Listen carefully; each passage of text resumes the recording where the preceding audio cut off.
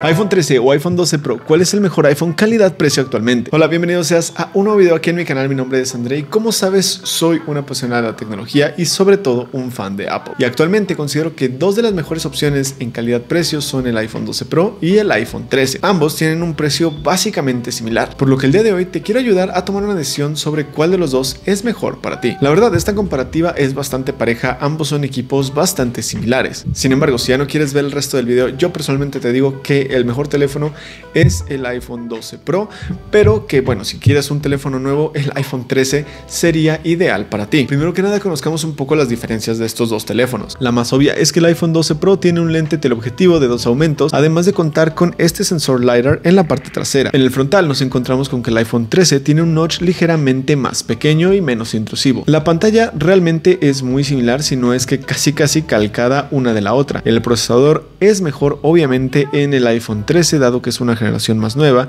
Sin embargo, el iPhone 12 Pro tiene una ventaja y es que tiene más memoria RAM, concretamente 6 GB de memoria RAM, lo que le ayuda a tener más procesos abiertos y que de cierta forma se sienta un poco más rápido en algunas ocasiones. Y estas son básicamente las diferencias más apreciables que tendríamos de estos dos dispositivos. Podríamos mencionar también que el iPhone 13 probablemente tenga un año más de actualizaciones, aunque esto jamás es seguro. Y bueno, creo que ahora deberíamos empezar a hablar punto por punto cuál de los dos teléfonos es mejor en diferentes aspectos, empezando por el diseño, el cual la verdad es que en este caso yo me voy a quedar con el iPhone 12 Pro, sobre todo por este color azul que me parece uno de los colores más bonitos que Apple ha sacado jamás, además de que este acabado mate hace que sea más cómodo sostener a la mano, el teléfono sea relativamente más limpio. Por otro lado el iPhone 13 también es un teléfono bonito, es relativamente más ligero, pero al menos a mí no me encantan los colores, además me gusta un poco más el diseño un tanto más simétrico de las cámaras del iPhone Pro que las cámaras en diagonal del iPhone 13. Digo, este es un punto bastante subjetivo. A mí personalmente me parece un poco más bonito el iPhone 12 Pro, pero es algo que a final de cuentas es más irrelevante. Algo que no es tan irrelevante es el apartado de las cámaras. ¿Cuál de los dos tiene mejores fotografías y videos? Y aquí de nueva cuenta creo que se la daría al iPhone 12 Pro, aunque es un poco más difícil definirlo, dado que el iPhone 13 tiene algo que me encanta y es el modo cine para grabar videos, además de contar con los estilos fotográficos que te permiten darle a las fotografías un estilo único. Sin embargo, el iPhone 12 Pro tiene una cámara más, que es el teleobjetivo. Si bien puede sonar insignificante, la verdad es que sí brinda una mejora al momento de tomar fotografías con zoom. Del mismo modo, el contar con el sensor LiDAR permite tomar mejores fotografías en modo retrato con un desenfoque más preciso. Como puedes ver, son resultados bastante apretados. Creo que no habría uno significativamente mejor que el otro, pero yo me iría por el iPhone 12 Pro por ese teleobjetivo que quieras o no, lo extrañas cuando no lo tienes y cuando no lo tienes, la verdad es que no lo aprecias tanto.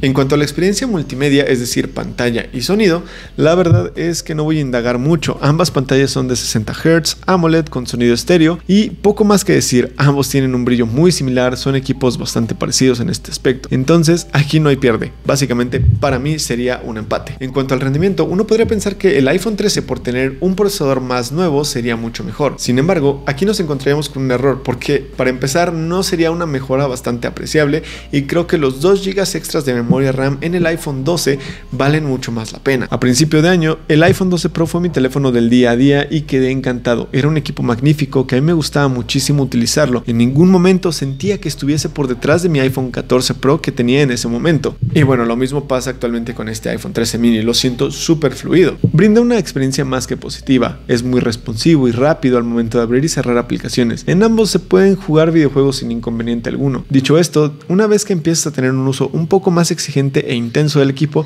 es donde esos 2 GB extras de memoria RAM del iPhone 12 Pro salen a su favor, pues le ayudan a tener más aplicaciones abiertas y de cierta forma a sentirse relativamente más rápido o al menos así se aprecia. Pero ojo, tampoco es una diferencia que sea de día y noche, la verdad es que es una comparación bastante apretada, por lo que en este apartado del rendimiento creo que les daría también un empate. Y con dos victorias del iPhone 12 Pro y dos empates considero que, bueno, el iPhone 12 Pro es una mejor compra. Sin embargo, hay una razón por la cual creo creo que deberías inclinarte más por el iPhone 13. Y es que el iPhone 12 Pro para mí es el teléfono ideal si buscas realmente el mejor teléfono entre estos dos. Sin embargo, tiene la desventaja de que es muy difícil que lo encuentres nuevo. Lo vas a tener que buscar reacondicionado o de segunda mano. Entonces este podría ser un detalle que a ti no te guste. Tal vez tú quieres que tu equipo sea completamente nuevo y ahí es donde el iPhone 13 es tu mejor opción. Entonces creo que con este video ya sabes cuál sería tu mejor opción, si el iPhone 12 Pro o el iPhone 3. Como lo digo, yo teniendo los dos preferiría sí el iPhone 12 Pro.